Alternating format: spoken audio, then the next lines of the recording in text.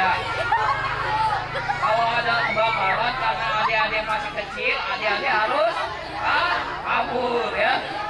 Kabur ya, tapi teriak kebakaran, kebakaran agar orang tuanya tahu ya. Ya. Oke.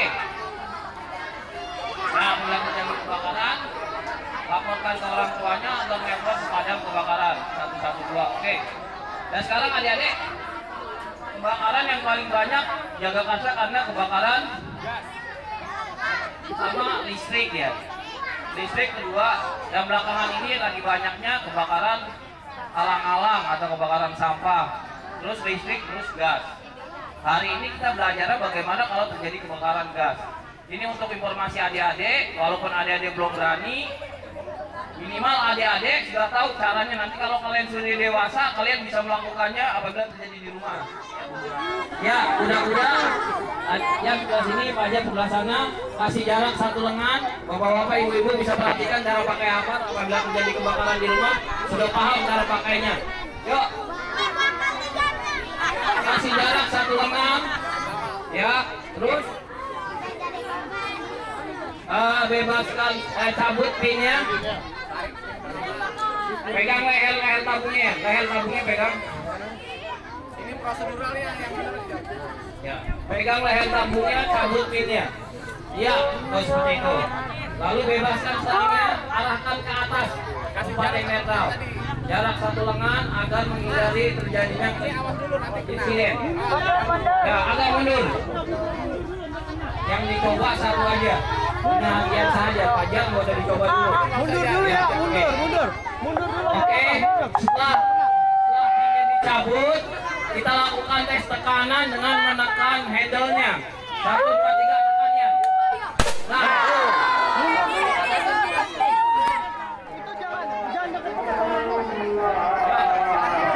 Mudah-mudahan satu kaki di depan, jalankan satu lengan. Ya, tangan kirinya menjepit leher tabung, tarik pinnya.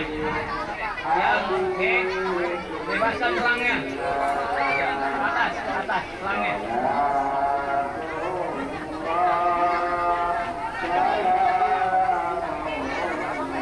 Ya, tangan kiri memegang nozzle. Tes tekanan satu, dua, tiga. Ya, satukan Pak, satukan arahkan Pak. Bapak jangan tegang Pak, tekan aja Pak. Jangan tegang Bapak, Bapak Bapak nggak ada tekanan. Satukan, satukan. Nah. Satu lagi, satu lagi yang ibu jari ada di atas, dua ibu jari. Ya. Empat, empat jari di belakangnya ada di belakang, ibu jari di atas. Ya. Empat jari belakangnya menempel. Ya, nah iya semuanya. Nanti ketika sudah menjepit karung, diputar seperti menari ke belakang. Ya, seperti itu.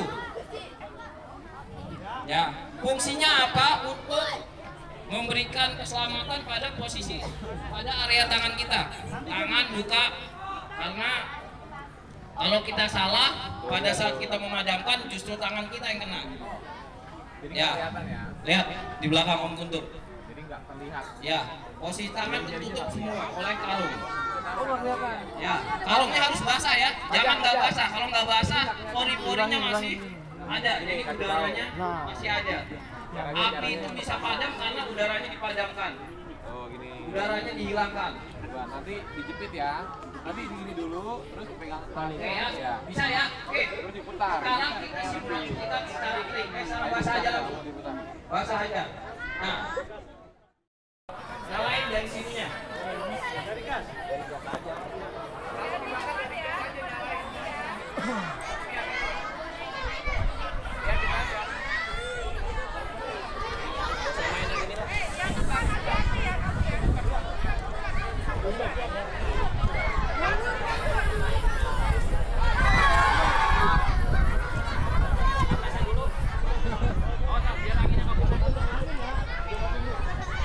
perhatikan arah angin ya.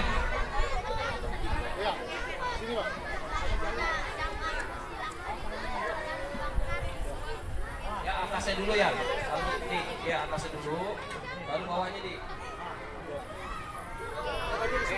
Nah, nah kalau kalau udah seperti ini kan kita bingung madaminya gimana caranya karena apinya sudah naik wajar langkah awalnya kita copot dulu regulatornya Jan, coba Jan, copot regulatornya Jan. Copot regulatornya. Regulatornya copot berarti arus gasnya sudah keputus. Terus gimana cara madamin wajannya? Kita ambil karung yang kita basahkan dengan teknik memegang yang sudah diajarkan tadi. Lihat tangannya. Lihat, lihat tunjukkan tangan ya. Posisi tangan semua tertutup. Nah, ya. Tidak boleh dikendorkan, pastikan bagian muka tertutup dan jalannya tidak boleh mindik-mindik ya.